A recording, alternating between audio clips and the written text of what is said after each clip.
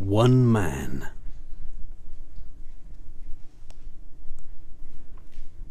One computer.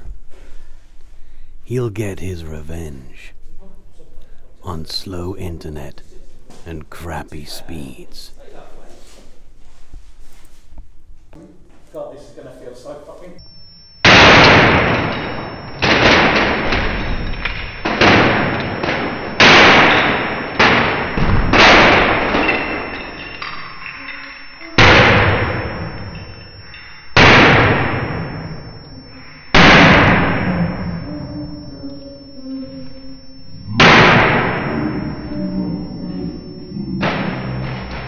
Action.